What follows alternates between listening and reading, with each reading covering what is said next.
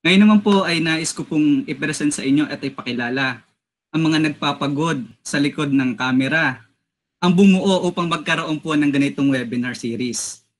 Nais ko pong ipakilala sa inyo ang team TMDSS o ang Training and Manpower Development Services section mula po sa pamumuno at pangunguna po ng aming butihing hepe, Dr. Maria Shilito G. Celada. Kasama ko rin po dito si Forester Sinaida R. Reyes, si Forester Moreno L. Santander Jr., si Miss Margie B. Dison, si Forester Jennifer R.C. Buche, si Forester Jeriel Espayuan, and yours truly po ang inyong MC for today, Forester Christian Amante. Ngayon po, ay sa panahon po ng pandemya na naranasan namin natin ngayon, ay sobra po tayong nalulungkot at nababahala. Alam ko po na excited na po kayo para sa ating training for today, for training webinar for today. Uh, gusto niyo na pong marinig ang lecture ng ating resource person. At gusto niyo na rin pong matuto o malaman kung papaano po talaga ang paggawa ng mga novelty items mula sa handmade, pa- handmade paper, from the scratch of handmade paper. And uh, ngayon po, uh, dalangin din po namin na nawa po ay uh, makatulong po itong webinar series na ito para po sa inyong lahat na pansamantala po sana maging inspirasyon nyo dyan sa inyong mga bahay, mawala po yung pagkainip nyo, yung pagkalito nyo, para hindi po kayo masyadong ma-stress. At kung sakali din po ay maganda din po sana kung uh, mag-business din po kayo yung pagkakaperahan nyo po kasi pwede po itong ipagbenta. Napakaganda po nitong training na ito, itong training webinar na ito. Kaya ngayon po ay uh, hayaan nyo po akong ipakilala sa inyo ang ating laser speaker for today. Siya po ay nagtapos ng BS Forestry sa University of the Philippines, Los Baños, and with field of specialization on pulp and paper production and industrial forestry. Gayun din po siya po ay kasalukuyan nagtatrabaho sa aming institute, DOST FPRDI, bilang isang Science Research Specialist 1. Ngayon din po sa mga experience po and training webinar series, workshops, marami na po siyang naatinan. At hindi lang po ito basta-basta workshops and seminar. Nakarating na din po itong ating uh, resource person sa ibang bansa internationally. Nakarating na po siya ng Shanghai, China from nag-present po yata siya ng International Paper Technical Conference at umattend din po ng International Paper Innovation Forum. Gayun din po, nakapunta rin din po siya ng Beijing, China. Training workshop naman po ito sa pulping and paper making technologies. Gayun din po sa aming opisina ay meron din po siyang mga projects na hinahawakan. Ang ilan po dito ay yung upgrading of handmade paper laboratory na siya po mismo ang project leader. Isa pa po dito ang improvement in pulp and paper properties by refining. Comparison between effects of P- PFI mill kung saan po siya naman po ay isa sa co-researcher. At napakarami pong iba. Siya po ay napakasipag din po pagdating po sa aming opisina. Kaya hindi po matatawaran ang kanya ding kabaitan. At napakagandang, napakagandang babae po niya. Chinita girl po siya. At ngayon po ay hindi ko na po papatagalin pa ang ating pong resource person for today for handmade paper product development, Forester Sheena Grisel Shapno.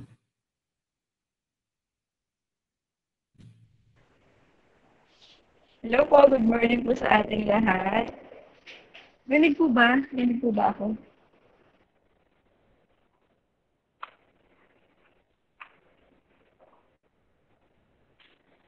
So, uh, start na po tayo. Ano po? Uh, magandang araw po sa ating lahat. Ating po pag-usapan ang paggawa ng mga produkto gamit ang handmade paper at ilan sa mga tips para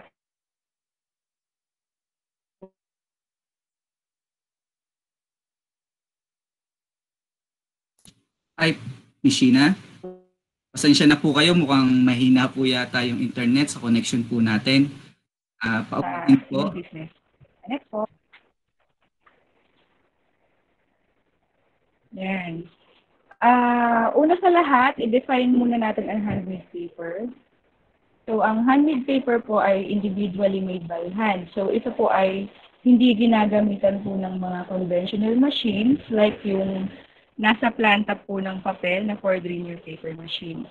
Dahil po ito ay laborious o matrabaho, mas mahal po ito kumpara sa mga ginagamitan ng paper machine. Usually po, ginagamit ito for arts and crafts, packaging, and these items. Next po. So ito po, ah, na-discuss ko na po ito noong Tuesday para sa mga naka-attend po ng level 1 ng handmade paper production. So short overview lang po ng paggawa ng handmade paper. Unang ginagawa po yung pagpili ng raw material natin at depende po sa availability at final product nyo. After po nun, pag-prepare naman po ng raw materials like cutting fibers, removing outer layers of plant parts, sealing, grinding, at marami pa pong iba. At sunod po, yung pulping po, or pagluto po ng fibers para mapalambot po ito. Washing po ang next, and then beating po para po lumitaw yung mga maliliit na higla sa ating pulp na siyang pampatibay rin ng ating final paper. Para po kumapit po yung mga fibers sa isa't isa. And then screening po to classify yung mga accepts and rejects po natin from pulping. Then bleaching para po pumuti ang pulp. Dyeing po kung gusto niyo pong maglagay ng kulay. Stock preparation. Uh, sheet forming pressing, drying po, and then quality check po ng dried or finished papers kung may damage po ba or mga mali sa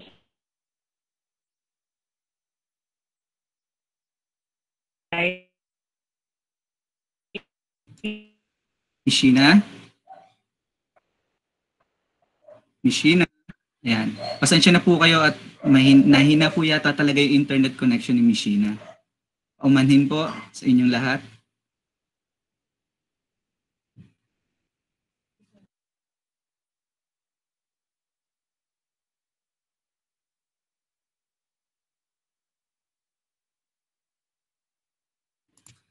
Pasensya na po, ah, medyo nawala po yata si Mishina gawa po sa internet connection.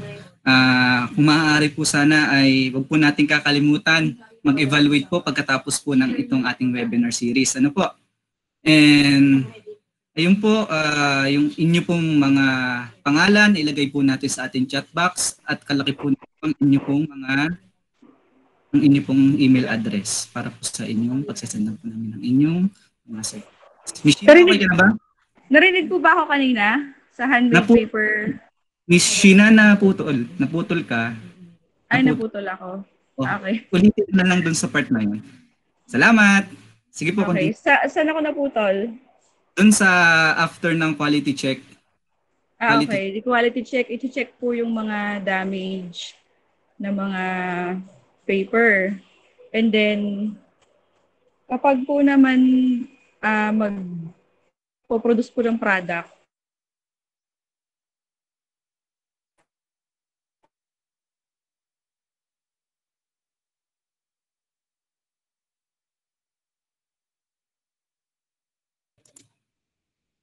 Miss Sheena.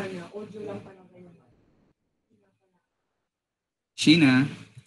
Yan, paumanhin po ulit. Talaga pong medyo may problema po yata sa internet connection si Miss Sheena. Ano po? So, ayun po kasi kami po ay nagtatrabaho din po. Work from home din po kami ngayon. Kaya pagpaumahin nyo na po ang minsan na difficulties po na naranasan po namin ngayon. Ano po? Ah... Hintay-hintayin lang po natin at pasensya na po talaga kayo at pabalik din naman po yung pabalik din po si Mishina. Tan po. Salamat po.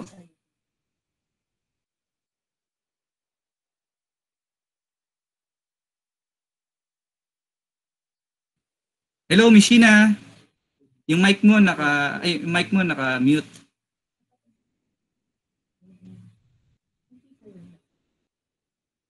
Mishina.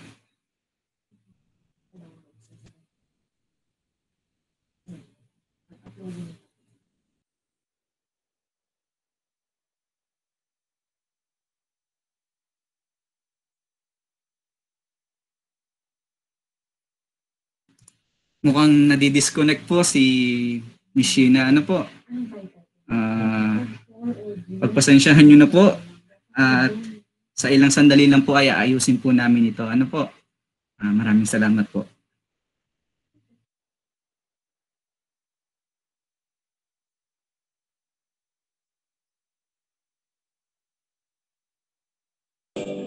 Hello po. Hello po. Hello, okay, Miss Sheena. Okay na ba? Hindi. Naririnig. Na, Okay. Kanina hindi ko narinig. Oo, naputol ulit after nung usap natin sa quality checking Okay, okay. process. Okay. Ah, Okay na ba? Sige. Okay, okay.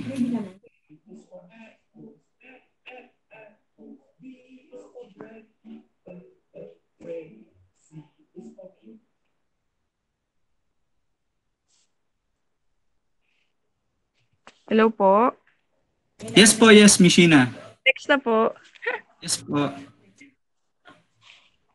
Yan. So, ang maganda pong gamitin ng handmade paper for conversion or product development kasi madami po tayong pwedeng gawin dito. Sa tamang paggawa po mismo ng handmade paper, magagawa nyo pong ah, parang kontrolado nyo po yung properties niya. So, pwede pong itong hindi madaling mapunit, pwedeng i-fold, i-curl.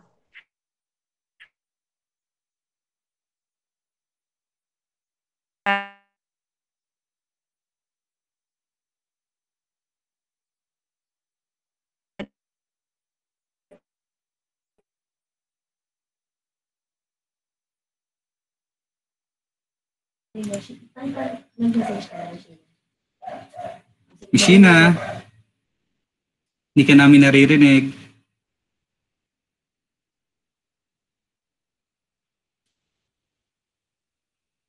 Medyo nagkakaproblema po talaga sa ating ah, resource person. Ano po?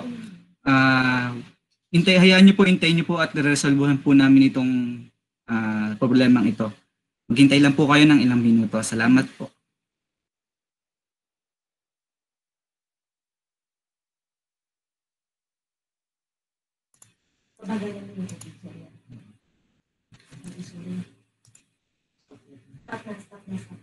For the meantime po, ah habang pong iniintay po natin yung ating resource person, si Forester Sheena, ay ah, para po patuloy po tayong makaiwas at makaligtas sa hatid na pandemya ng ating kinakaharap ngayon na virus na COVID-19. Panoorin po natin ang ating short video na ito para patuloy po tayong makaligtas. Ano po?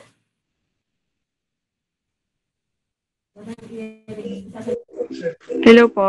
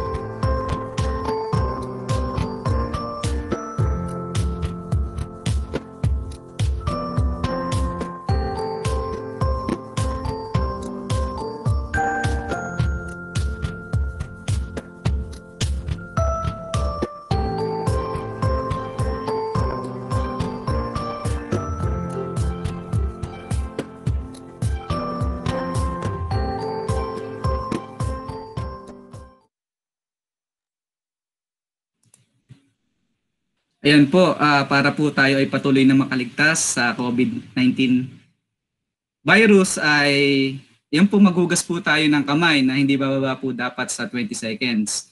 And lagi po nating ugaliin na magsuot ng face mask at face shield pagkapag tayo lalabas ng bahay. Gayon din po ay pairalin po talaga din natin ang pinaka-importante sa lahat, ang so- social distancing. So, ngayon po ay naresolve, naresolve na po namin ang technical difficulties. Pasensya na po talaga kayo.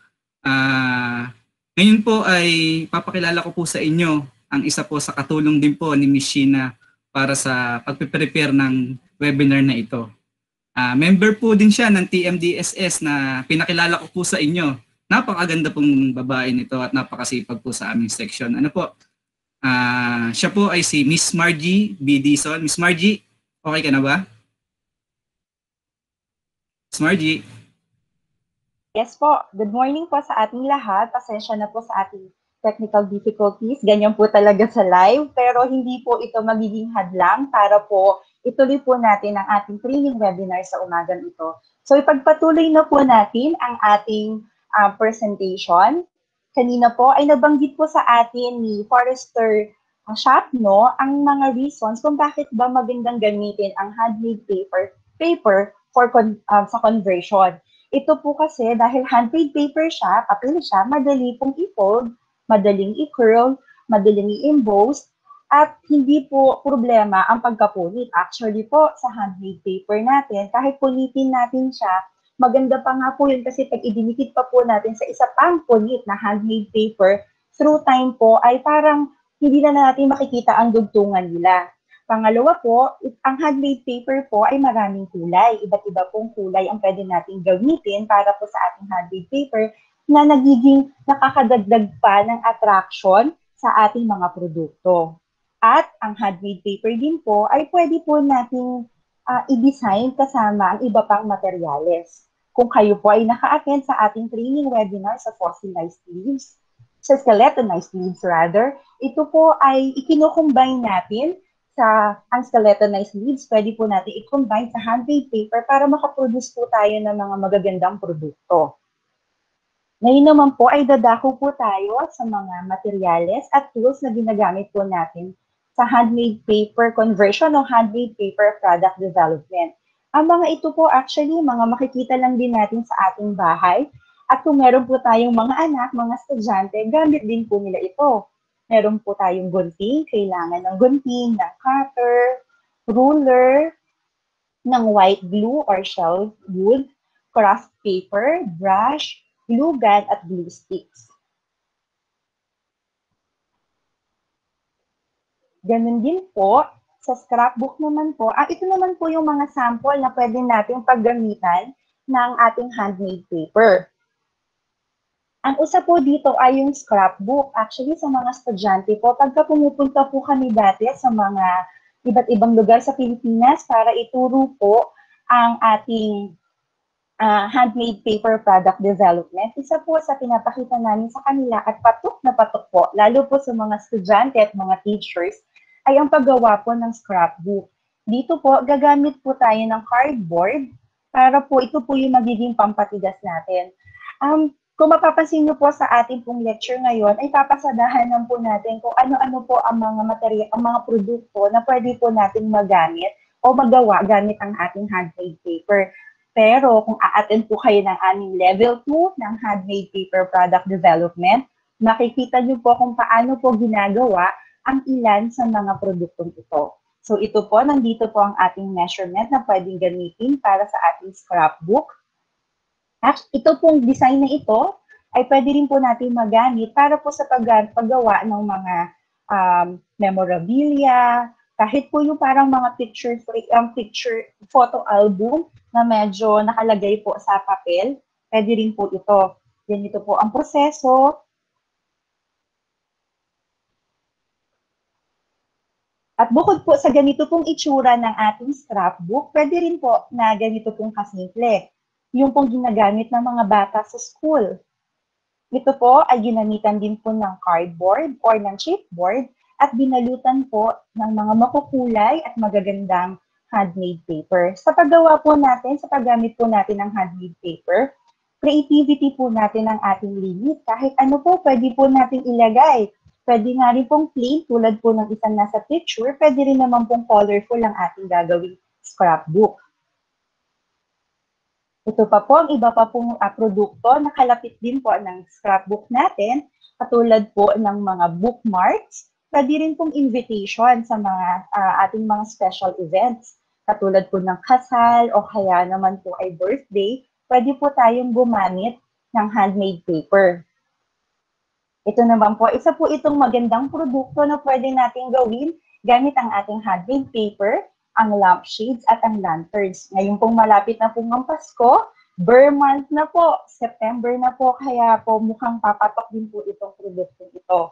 Pwede po natin, dahil colorful po ang ating handmade paper, pwede po natin siyang magamit para mas magbigay buhay doon sa ilaw ng ating mga lampshades at lanterns. Ito pa po, dito po, bukod po sa ating handmade paper, ay nilagyan po natin ng iba pa pong accent.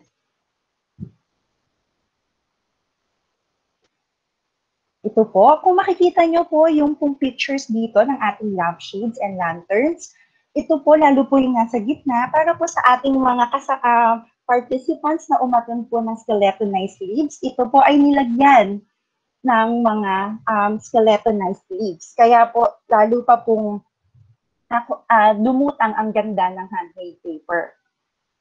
Ito pa po, ang iba pa pong sample na meron din pong ibang accent, tulad po ng skeletonized leaves. Kung mapapansin po natin, ang dami po natin pwedeng gawin gamit ang handmade paper. Sabi ko nga po kanina, at sabi po na isang commercial, imagination po natin, ang limit po natin dito. Bukod po sa um, scrapbooks, and ganun din po sa mga lanterns at lampshades, isa pa pong pwede natin gawin ay ang paggawa ng gift bags. Ngayon pong malapit na rin po ang Pasko, pwede po natin itong, uh, pwede po natin gamitin ang ating mga handmade paper na nagawa para po sa pagbuo ng mga gift bags or paper bags. Sabi po dito, made by folding as long as desired space inside the is achieved. So kahit ano pong size, depende po at um, gagamitan lang po ito ng glue or white glue para po mapagdikit sila. Ito po ang sample ng ating mga gift bags. Kung bibilhin po natin ito sa uh, sa mall, lalo sa National Bookstore, sa iba pa po mga bookstores, iba po medyo pricey po ang presyo nito. Pero kaya naman po pala natin gawin. Basta matutunan lang po natin kung paano gumawa ng handmade paper o kung meron po tayong handmade paper sa bahay, pwede po natin itong buuin para po sa mga produktong tulad nito. Ito pa po, ito po isa pa po siya, isa pa pong exciting na produkto na pwede nating magawa gamit ang handmade paper. Pwede po tayong gumawa ng beads. Ang paraan po nito, ginagawa, gugupitin lang po natin ng maliliit ang ating mga handmade paper Pagkatapos po nun ay irorolyo po natin gamit po ang mga sticks. At pwede na po natin gamitin ang mga beads as earrings, necklaces, necklaces and bracelets. Bu yan po, ang gaganda po ng mga examples ng paper ng mga paper beads na ginawa pong necklace, ginawa pong earrings. Maiisip niyo po ba na yan ay handmade paper lang? Sigurado po na sa ngayon po marami na po kayong naiisip na iba pang mga produkto na gawa sa handmade paper. So, may mga nagtatanong po, kumusta naman po ba ang market ng handmade paper? Sa pagbibenta po natin ng handmade paper, napakahalaga po ng design. Kaya kanina ko pa po sinasabi ang ating creativity, ang ating pong imagination ang limit natin dito. At yun din po ang ating puhunan para po makabuo po tayo ng mga magagandang produkto. Ang constraint daw po, major constraint nito ay ang presyo. Siyempre po, ang handmade paper sa Pilipinas, karaniwan ay manually ginagawa. Kung kaya, medyo mahal po ito kung kumpara po sa mga handmade paper na galing halimbawa sa China. Pero ito naman po, dahil ito, kaya po tinatawag din po ang handmade paper as specialty paper dahil special po, depende po sa gusto ng ating mga customers ang itsura ng ating handmade paper. And most local handmade paper mills, ini-export po nila ang kanilang mga produkto at karaniwan po makikita ang mga handmade paper at ang mga produktong gawa dito sa mga trade fairs at sa mga exhibits. Product policy, your overall plan for your product, and yun nga po, marami um, consider the product and the market factors. Katulad po na na-mention ko kanina, yun po yung mga dapat natin i-consider sa pagbuo po, uh, sa pagdi-business po natin patungkol po sa handmade paper. And ito po yung mga key buyer requirements. Karaniwan po, ito po yung tayo pong mga consumer, ito po yung usual na tinitingnan natin. Ito rin po yung dapat i-consider ng mga gusto po magsimula ng business patungkol sa handmade paper conversion. Siyempre po, ang quality, ang craftsmanship, ang finish, ang consistency. Kaya po mahalaga na kung gagawa po tayo ng handmade paper at ng produkto po gamit ang handmade paper, meron po tayong journal. Doon po nakalagay yung ating pong mga uh, biga, uh, grams na mga gagamitin natin, yung pong mga produkto po natin, yung kung gaano po karaming dye, halimbawa, kung gagamit po tayo ng dye sa handmade paper, kailangan po yung pong mga ratio and proportion ng mga yun nakasulat po sa ating journal. Para po pag bumalik po ang ating customer at sinabi, gusto ko ganitong kulay, gusto ko ganito ang kapal ng aking handmade paper, mababalikan po natin ang ating journal para po dito. At syempre, mahalaga din po ang packaging and shipping. Pagdating naman po sa packaging and shipping, matutulungan din po tayo ng DTI para po sa packaging. And syempre po, design and yung presyo po natin. At yung capacity ng ating papel. So, dapat din po, makikita po natin doon sa ating level 2. Kaya sana po maka-attend din po kayo na ang kapal po ng handmade paper na ating gagamitin ay nakadepende po sa paggagamitan po ng produkto. Kasama din po dito ang delivery. Siyempre, dapat on time po ang ating delivery. Pag nag-request po sila na ganitong araw, ganitong araw po sana natin ma-deliver ang ating products at ang ating business skills. So ito po ang halimbawa ng mga uh, companies na nagpuproduce na po ng ating mga handmade products. Pwede nyo po siguro screenshot para pwede nyo pong i-check ang kanilang mga uh, websites or kanilang mga Facebook pages para ma-check nyo po ang sample magkaroon, na-inspire po kayo sa kanila kung ano-ano po ang nagagawa nila gamit ang handmade paper. Okay po. Ang mga lugar pong ito ay sa buong Pilipinas po. Ang Papelba, Salipa, ang Salay, uh, ang sa CD, uh, CDO handmade paper. Meron po mga adapters sa Luzon, Visayas at Mindanao. At bukod po dyan, meron po kaming dating kaopisina na ngayon po ay retired na po na isa po siya sa mga early adapters ng aming handmade paper. At siya po, sa ngayon, kahit retired na po siya, tinutuloy niya pa rin po ang business niya sa handmade paper. So ito po, ang sample ng mga designs abroad para po alam din po natin kung makikipag-compete po tayo. Magand actually, maganda rin po talaga na tumitingin po tayo sa mga designs kahit sa nasa abroad ng kahit yung mga nasa abroad, para ma-inspire po tayo at makita po natin ano na ba ang in sa ibang bansa o kahit dito sa Pilipinas. Ito pa rin po, ng iba pang sample ng mga design sa abroad.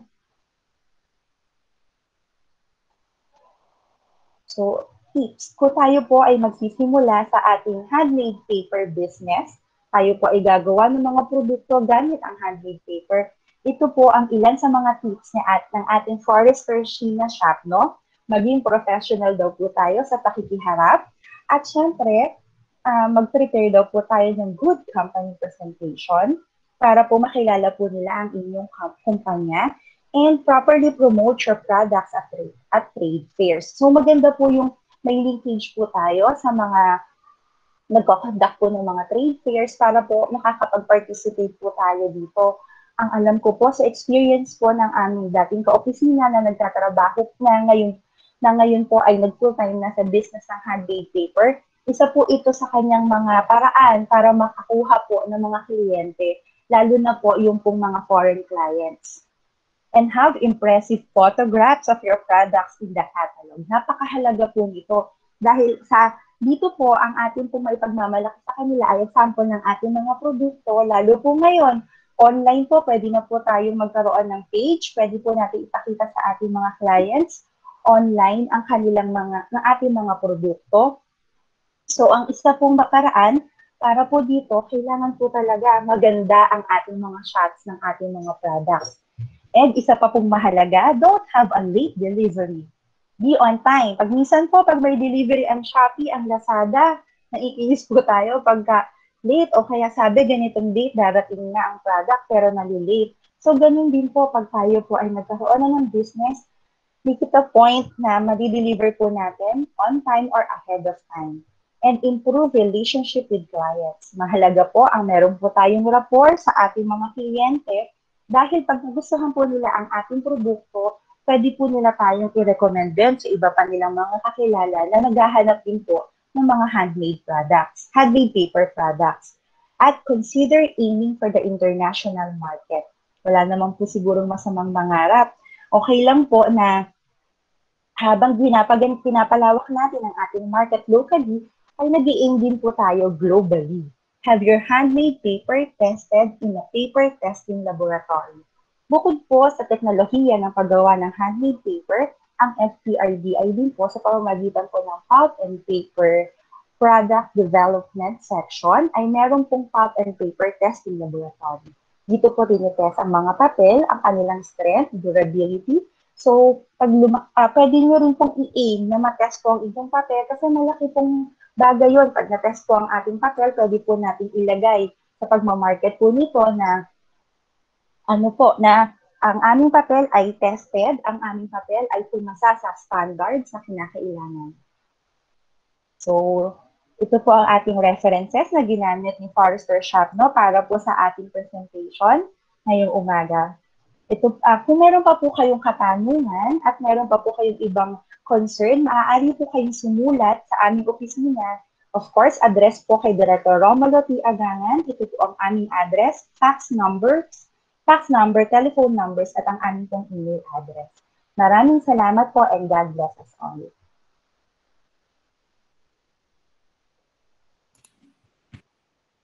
Maraming salamat po, G. Dison, sa inyong lecture. Uh, ngayon po ay napagtanto na po nating lahat. Ano po, ang key po pala dito ay para tayo ay makabuo ng isang handmade paper ay yung creativity natin, yung imagination natin. Kailangan kailangan natin to. Ano po?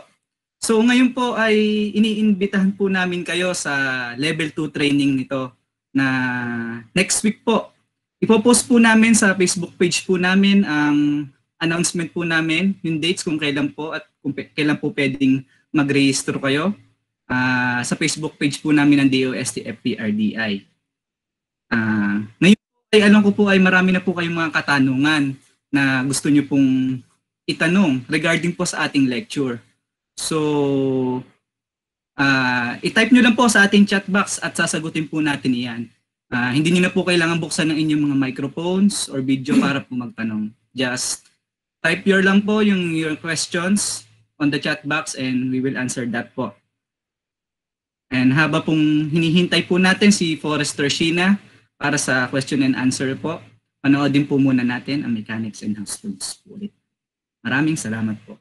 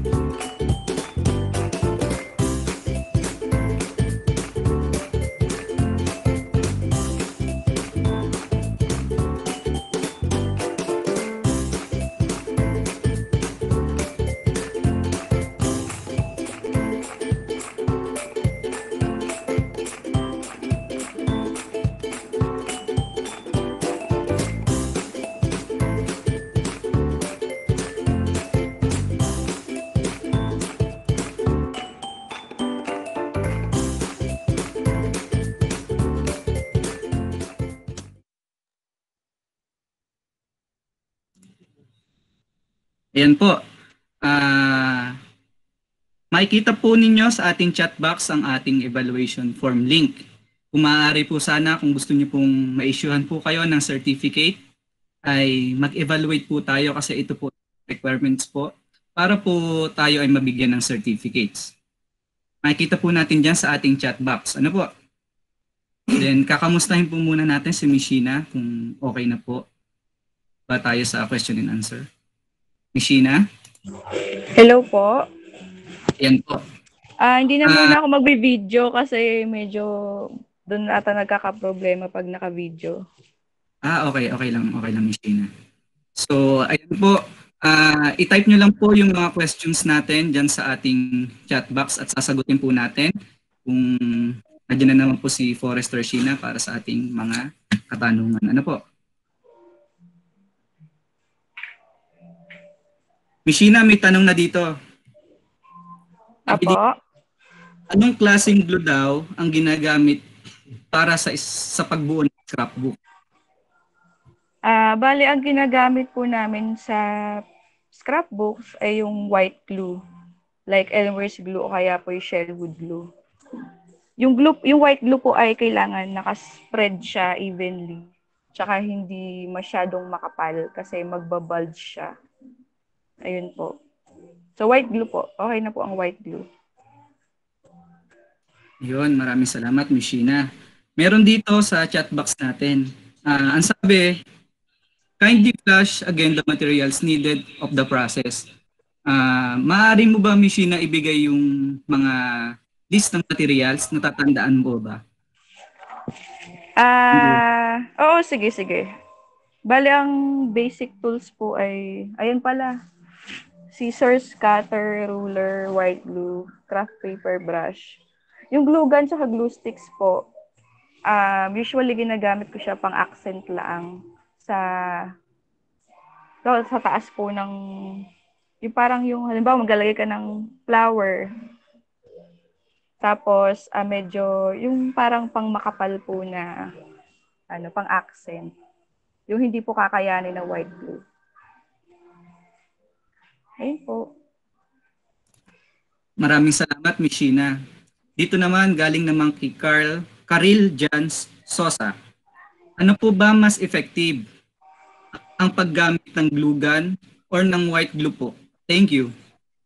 Okay, um, para sa akin, based po sa experience ng pagdidikit ko, white glue po, para po dun sa mga, kung papel-papel po o kaya po mga string, white glue po para sa akin. Yung glue gun po kasi para dun sa mga synthetic o kaya po yung wala po siyang parang hibla na kakapitan dun po sa papel. Ayun po. Thank you, Miss Sheena. Meron po dito ulit another for Miss Bea Hunsay. Hello po. Ano po ang coating na ginagamit po for the handmade paper? Since po water-based ang white glue po. Salamat po. Ulitin ko po, Miss Sheena. Mm. Ano po ang coating na ginagamit po for the handmade paper? Since po water-based ang white glue po. Salamat po. Ah, in terms of coating, yung iba nilalagyan nila ng yung beeswax para po sa para mag maging tawag dito? Hindi siya masyadong madikitan ng kasi pang ang beeswax po ay ano siya eh ah ah, wood ay wood grade po. And then pa para naman po ah i-connect ko lang po dun sa water resistance. Ano po So, connected po siya dun sa next question na hindi po ba maghihiwalay pag nabasa. Um, sa paggawa po ng handmade paper din, pwede nyo pong gawing may, may degree of water resistance po sa pamamagitan ng paglalagay po ng alum tsaka rosin. So, yung technique po na yun, sa mismong paggawa po ng handmade paper. So, bago, bago po siya madry. So, dapat nandun na po siya mismo sa stock. Thank you po. Maraming salamat po, Miss Sheena, sa inyong uh, sagot sa ating questions. Meron pa po dito, Miss Sheena, sabi po, saan daw po ba nakakabili ng mga lamp parts po na kanina po na ipinakita po kanina sa lecture? Saan daw po ba na? Thank you po. Okay. Uh, usually po, yung mga lamp parts sa mga ha- hardware stores po meron. Ayun po.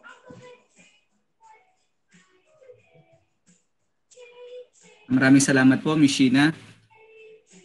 Okay. Meron po ba kayong mga katanungan? Ilagay lang po natin sa chat box. Mag-entertain po tayo at least. Five questions na lang po. Thank you po. Ito po. Meron po dito, Mishina. Nagtatanong po ulit siya. Kay Joselito po. Ask ko lang po kung pwedeng gamitin yung handmade paper kapalit sa commercial na hand paper po. Thank you po. Ulitin ko po, Mishina. Ask ko lang po kung pwedeng gamitin yung handmade paper kapalit sa commercial na handmade, handmade paper. Ah, paano pong commercial na handmade paper? Ah, or commercial paper po ba? Kasi po, ang handmade paper po ay ano siya eh. Um, di siya ginamitan ng machine. Kapag nakita niyo po na may direction po yung fibers niya, yun po ay commercial. Sabihin, dumaan po siya sa machine.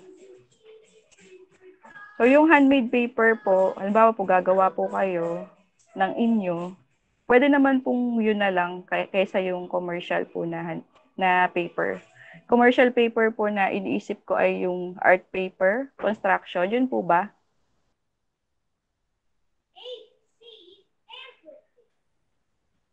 Sir Joselito, eh, tinatanong po ni Miss Sheena kung yun daw po ba yung nais niyong malaman. Pakilagay na lang po sa ating chat box dun sa... Ah, okay po. Sige po. Miss Sheena, may tanong po ulit dito. Po? Ah, may tanong po ulit. Mm-mm. O pwede po bang gawing hindi madaling mabasa ng tubig ang handmade paper para po sa mga base? Kasi nagpakita po kanina ng mga base po eh dun sa ating mga products po, especially Mm. ang international po na products. O sa pawis para sa accessories. Ulitin ko po. Pwede po bang gawing hindi madaling mabasa ng tubig ang handmade paper para sa mga base o sa pawis para sa mga accessories? Ah, okay po. Bale, ah, related siya dun sa tanong kanina, no? Um, nung level 1 na handmade paper production kasi, nilagay ko dun yung parang formula ng pag lalagyan mo na water resistance yung papel. So, so lalagyan mo siya ng alum tsaka rosin. Yun ay isang paraan. And then yung yung isa pang paraan, yung out pang coating naman sa outside. Yung iba nilalagay nila ng beeswax. And then yung iba po para maging glossy, nilalagay nila ng parang parang varnish po na parang yung sa ano, yung para sa Kyotex. Yon. Yun po ang ginagawa nila. Yung iba po nilulublog lang din nila sa glue.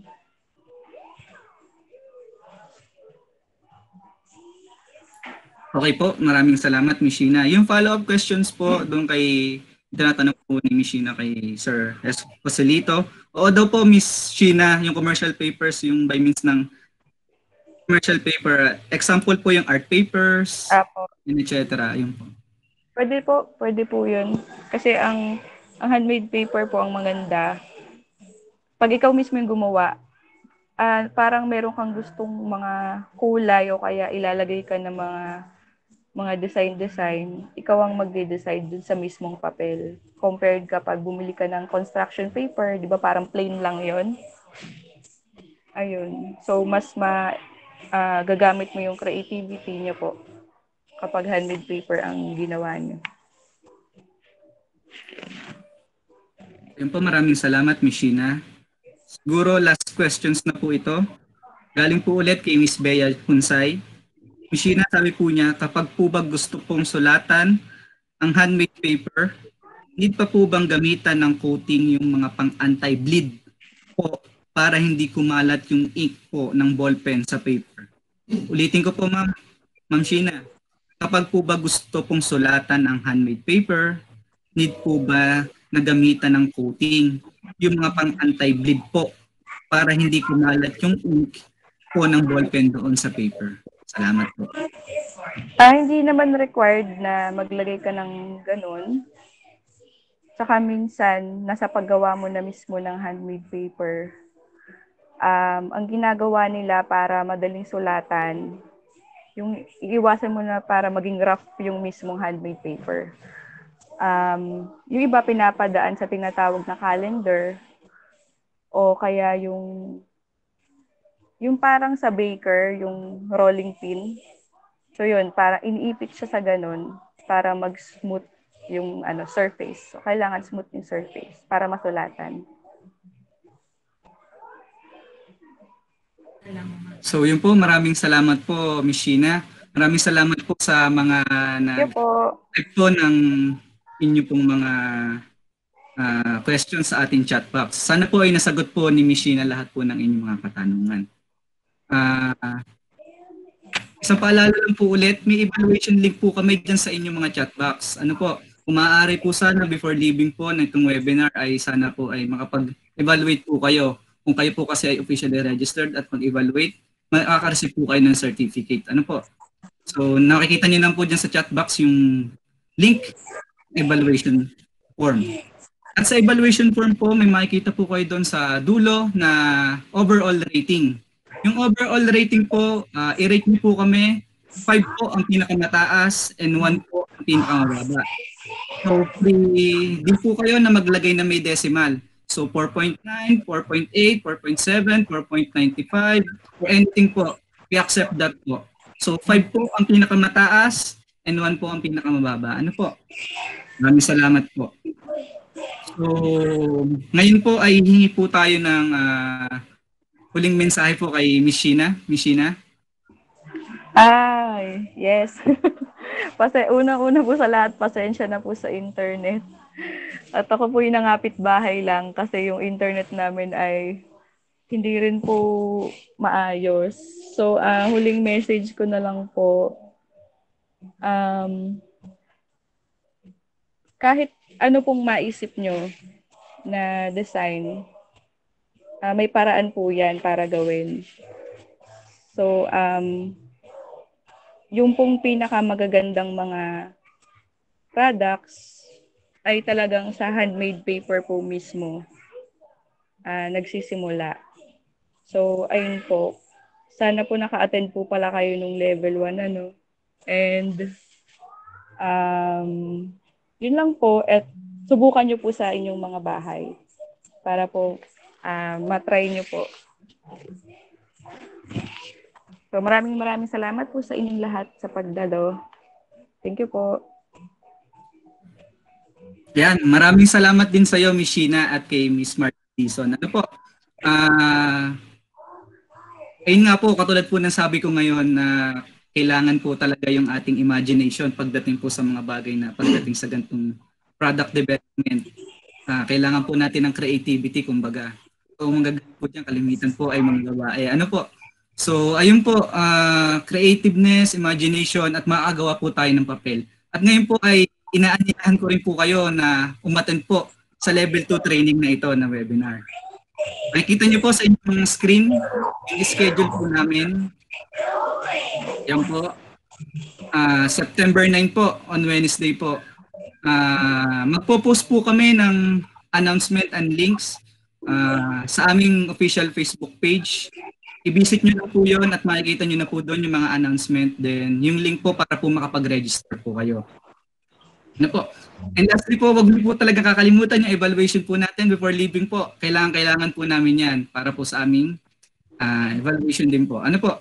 So, ngayon po ay officially po natin natapos po natin itong training webinar na ito.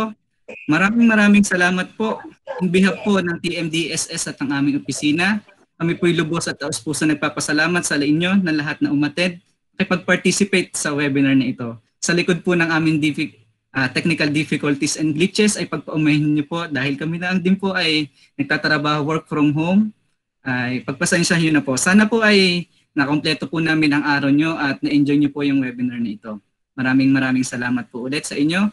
Ah, asahan nyo po na patuloy po kaming ah, magbibigay ng serbisyo ang DOST FPRDI ng kagayang webinar na ito para kahit na po tayo ay may pandemyang nararanasan ay ating pong ah, makakamit at malalampasan ito. Ah, maraming maraming salamat po ulit. Stay safe po and God bless us. Thank you.